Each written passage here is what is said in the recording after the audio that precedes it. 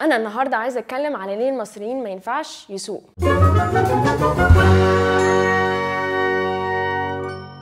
مبدئيا إحنا مش هنتكلم عن الناس اللي ما بتعرفش تسوق عشان دول مشكلة في المجتمع ومش هتتصلح. عقابهم في الدنيا إن إحنا نتجاهلهم وعقابهم في الآخرة يعني ربنا بقى هيحاسبهم. السبب الرئيسي لليه المصريين ما ينفعش يسوقوا الركنة. يعني مش هتلاقي ركنة. أي مسطح عجل العربية بيمشي عليه بتلاقي فيه حاجة.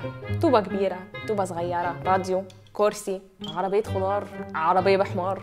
ممكن حد يحط ابنه شخصيا يوقفه كده. سبب تاني بقى من الأسباب تبقى قاعد ومستني بقى الإشارة ولما الإشارة تيجي تفتح تلاقي كل الناس بقى قررت إن هي عايزة تعدي.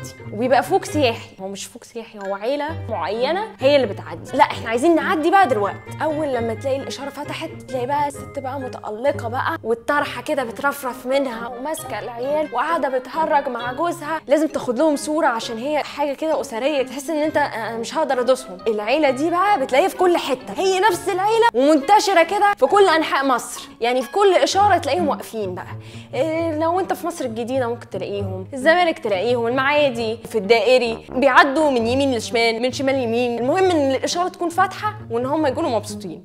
يعني تلاقي الست اللي في العيلة ليها ثلاث حالات. أول حالة تحس إن هي متجاهلة تماما إن في عربيات وأكنها بقى بتعدي من المطبخ للصالون. الحالة الثانية بقى تلاقي الست بقى بتدي لك نظرة استحقار اللي هو أنت إزاي استجرأت وزمرت. تلاقيها بتبص لك كده يعني من فوق لتحت أنت كده يومك مش فايت وممكن ما ترجعش البيت فيها أساسا. ثالث حالة بقى تلاقي الست هي بقى بعيلتها كلهم كده بيتحولوا لكائن واحد بطيء. سبب تاني لليه المصريين ما ينفعش يسوقوا اليافطة. هو مفيش إلا يافطة واحدة ولو فاتتك تتودع بقى كل أحبابك وقرايبك عشان انت خلاص دخلت في محافظة تانية أساسا وهتضطر بقى تبدأ حياة تانية جديدة عشان مش هتلاقي U-turn ترجعك. آخر وأهم سبب بقى أنا مش هينفع أقوله كلنا عارفينه كلنا عدينا عليه اللي يعرفوا بقى يحطوا في ال comments